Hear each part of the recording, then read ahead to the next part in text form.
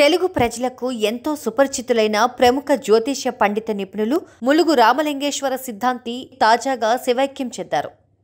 ఊపిరి తీసుకోవడంలో ఇబ్బందిగా ఉందనడంతో కుటుంబ సభ్యులు వెంటనే పంజాగుట్టలోని నిమ్స్ ఆసుపత్రికి తీసుకెళ్ళారు. అయితే ఆసుపత్రికి చేరుకునే లోపే రామలింగేశ్వర సిద్ధాంతి మార్గ మధ్యంలో తుది శ్వాస విడిచినట్లు వైద్యులు ధృవీకరించారు. అయితే అన్ని ప్రిడిక్షన్స్ని ముందే పలికే ములుగు గురూజీ ఆయన మరణాన్ని కూడా ముందే అంచనా వేశారా? లేదా అన్నది ఇప్పుడు ఆసక్తికరంగా మారింది. అసలు ములుగు సిద్ధాంతి మరణం రహస్యం ఏమిటి? ఆయన ఈ విషయంలో జాగ్రత్త పడలేదెందుకు? అందరికీ జాతకం చెప్పినా ఆయన జాతకం ఎందుకు తెలుసుకోలేదు? అన్న ప్రశ్నలు వ్యక్తమవుతున్నాయి. మరి ఆ ప్రశ్నలు వాటికి జవాబులు ఈ వీడియో ద్వారా మనం తెలుసుకునే ప్రయత్నం చేద్దాం. ముందుగా సోషల్ పోస్ట్ ఛానల్ని సబ్స్క్రైబ్ చేయండి. నోటిఫికేషన్స్ కొరకు పక్కనే ఉన్న బెల్ క్లిక్ చేయండి. పలు టీవీ ప్రోగ్రాంలో వారఫలాలు చెబుతూ ములుగు రామలింగేశ్వర సిద్ధాంతి ఎంతో మందికి చేరువయ్యారు. ఈయన చెప్పే రాశి ఫలాలను కేవలం తెలుగు రాష్ట్రాల వారే కాకుండా విదేశాల్లో ఉండే తెలుగువారు కూడా ఎంతగానో విశ్వసిస్తుంటారు. దాదాపు నాలుగు దశాబ్దాలకు పైగా నిష్పక్షపాతమైన నిజమైన జ్యోతిష ఫలితాలు పంచాంగం ద్వారా భవిష్యత్తులో జరగబోయే అనేక విషయాలను తన పంచాంగం ద్వారా ప్రజలకు తెలియజేసిన ములుగు సిద్ధాంతి గుంటూరు నుంచి వచ్చి హైదరాబాద్లో స్థిరపడ్డారు. ములుగు సిద్ధాంతి శ్రీశైలంలో ఆశ్రమం స్థాపించి వేదాలలో పూజ హోమాది క్రతువులలో శిక్షణ పొందిన బ్రాహ్మణులతో ప్రతి మాస శివరాత్రికి పాశుపత హోమాలు నిర్వహించారు.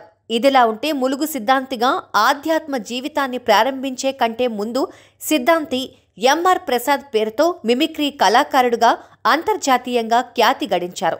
ములుగు రామలింగేశ్వర సిద్ధాంతి తెలుగు రాష్ట్రాల్లో చాలామంది సినీ రాజకీయ వ్యాపార ప్రముఖులకు దేశ విదేశాల నుంచి వచ్చేవారికి జాతక విశ్లేషణ చేసి వారి సమస్యలకు పరిష్కారాలు చెప్పారు. ఆయన చెప్పిన జోష్యంలో చాలా వరకు ఫలించినవే కావడంతో ఆయన చెప్పే జ్యోతిష్యం నిజమవ్వడంతో ప్రపంచవ్యాప్తంగా ఆయనను నమ్మేవాళ్ళ సంఖ్య రోజురోజుకి పెరిగింది. ములుగు సిద్ధాంతి కూడా తాను చూసిన జోస్యాన్ని ఖచ్చితంగా తెలుసుకునే చెప్పేవారు. అయితే ములుగు సిద్ధాంతి గారి చెప్పిన జ్యోతిష్యంలో ఎన్ని ఫలించాయి? ఒకసారి చూద్దాం. గతంలో ఆయన ఎన్నికల ఫలితాలపై ఈ సంవత్సర ఆరంభంలోనే చెప్పిన పలు జోస్యాలు నిజమయ్యాయి.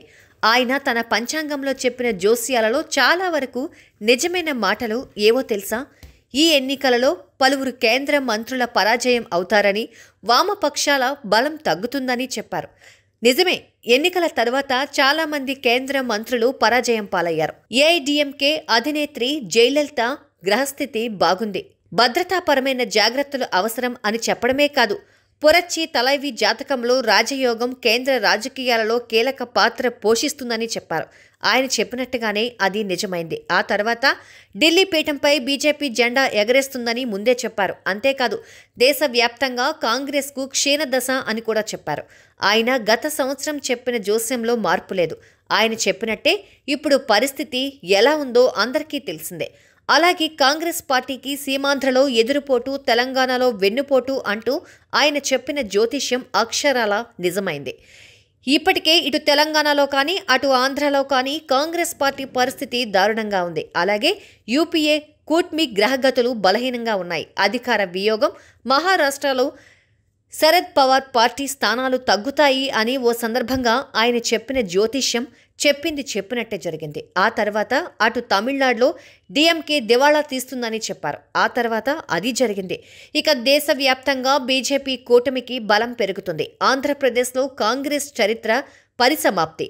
తెలంగాణలో టీఆర్ఎస్ ముందంజ. రెండవ స్థానంలో కాంగ్రెస్ అని చెప్పారు. ఆయన చెప్పినట్టే రాజకీయాలు జరిగాయి. తెలంగాణలో కాంగ్రెస్ రెండో స్థానంలోకి వెళ్ళింది. ఇక యూపీలో బీఎస్పీ ఎస్పీలకు ప్రజాదరణ తగ్గుముఖం పడుతుందని చెప్పారు. నిజమే ఆయన చెప్పిన తర్వాత అదే జరిగింది. ప్రస్తుతం ఈ రెండు పార్టీలకు ఆ ప్రాంతాల్లో పెద్దగా క్రేజ్ లేదు. ఇక Indian lady leaders Sushma Swaraj Jayalalithaa జాతకాలు బాగున్నాయి అని ఆయన చెప్పినట్టే జరిగింది. సుష్మా స్వరాజ్ ఆ తర్వాత కేంద్ర మంత్రిగా చక్రం తిప్పితే జయలలిత తమిళనాడుకు మళ్ళీ ముఖ్యమంత్రిగా మారింది. ఇక బీహార్లో నితీష్ కుమార్ పార్టీకి చేదు అనుభవాలు తప్పవు అని ఆయన చెప్పినట్టు అదే జరిగింది. అలాగే మధ్యప్రదేశ్లో బీజేపీకి అత్యధిక పార్లమెంటు స్థానాలు వస్తాయని చెప్పినట్టే అధిక మెజారిటీ అందుకున్నారు అక్కడ. ఇక కర్ణాటకలో దేవ్ గౌడ పార్టీకి నామమాత్ర ఆదరణ పార్టీ బలహీన పడుతుంది అని చెప్పారు. అలాగే జరిగింది. కర్ణాటకలో దేవ్గౌడ పార్టీ ఓటమి పాలవడం ప్రత్యర్థి పార్టీ విజయం అందుకోవడం జరిగిపోయాయి. అలాగే కాంగ్రెస్ పార్టీలో వికటించనున్న విభజన ప్రక్రియ అని చెప్పినట్టే తెలంగాణ విభజన ప్రక్రియతో కాంగ్రెస్ పార్టీలో చాలా లుకలుకలు ఏర్పడ్డాయి. ఈసారి ఎన్నికలు నిజంగా సంకుల సమరమే అయింది. గత ఏడాది చెప్పినట్టు నరేంద్ర మోదీ హస్తి బాగుంది రాజయోగం ఉంది అని చెప్పినట్టే ఛత్తీస్గఢ్లో బీజేపీ విజయం సాధించి ఎండీఏ కూటమి గ్రహస్థితి అనుకూలంగా ఉంది అన్నారు. అలాగే ఆ పార్టీలన్నీ కలిసి ప్రభుత్వాన్ని ఏర్పాటు చేశాయి. అలాగే ప్రస్తుతం యూపీఏ కూటమి అధికారంలోకి రాదు. రెండు వేల పన్నెండులో చెప్పిన ఈ జోస్యంలో మార్పు లేదు అని చెప్పినట్టే అక్కడ పార్టీ ఓటమి పాలైంది ఇక లాలూ ప్రసాద్ రామ్ విలాస్ పాశ్వాన్లకు బీహార్లో చేదు అనుభవం ఎదురవుతుంది అని ఆయన చెప్పింది చెప్పినట్టే జరిగింది. నిజంగా ఈ ఇద్దరు నాయకుల పరిస్థితి ఆ తర్వాత దిగజారిపోయింది. తెలంగాణలో కాంగ్రెస్కు పెద్దగా జనాదరణ ఉండదు అని చెప్పారు. అవును తెలంగాణ ప్రకటన తర్వాత ఇక్కడ కాంగ్రెస్ పార్టీ జాతకం మారిపోయింది. ఇక యువ నాయకుడి జాతక ప్రభావం వల్ల టీడీపీ ఉనికి ప్రస్ఫుటంగా ఉంటుంది. అని చెప్పినట్టే ఏపీలో చంద్రబాబు తనయుడు లోకేష్ కారణంగా ఆ పార్టీలో చాలా మార్పులు సంభవించాయి. ఇక తెలంగాణలో టీఆర్ఎస్ హవా అని చెప్పినట్టే కేసీఆర్ పార్టీ భారీ మెజారిటీతో గెలిచి ప్రభుత్వాన్ని ఏర్పాటు చేసింది. అలాగే ఈ ఎన్నికలలో ఊహించని వలసలు ఆశ్చర్యకరమైన పొత్తులు ఎన్నికల ఖర్చు అంచనాలకు అందదు. ఇలా ఆయన చెప్పినట్టు చాలా జరిగాయి. ఎన్నికల్లో షాక్ ఇచ్చే పొత్తులతో పార్టీలు ఏకమయ్యాయి. ఎన్నికల ఖర్చు కూడా అంతే రేంజ్లో పెరిగిపోయింది. ముఖ్యంగా ఆయన చెప్పినట్టు లోక్సభలో కాంగ్రెస్ ప్రధాన ప్రతిపక్షంగా అవతరించలేదు.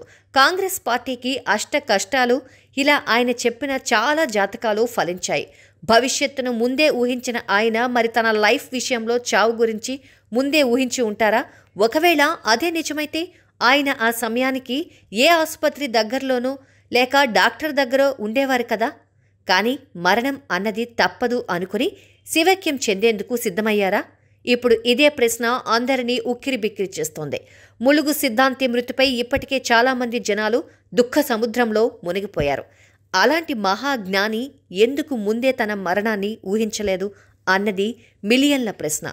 ఏది ఏమైనా అలాంటి మహాజ్ఞాని మహాయోగి సిద్ధాంతి ములుగు రామలింగేశ్వర సిద్ధాంతి మరణం తెలుగు జాతికి తీరని లోటు. Hi this is Thaman Shraddha Das I Priyadarshi నేను మీ ఆది. హాయ్ ఐ కశిష్ బోరా నేను Sree Vishnu. Hi this is Aditya hi this please subscribe to Social Post please Social please subscribe Social Post please subscribe to Social Post please subscribe to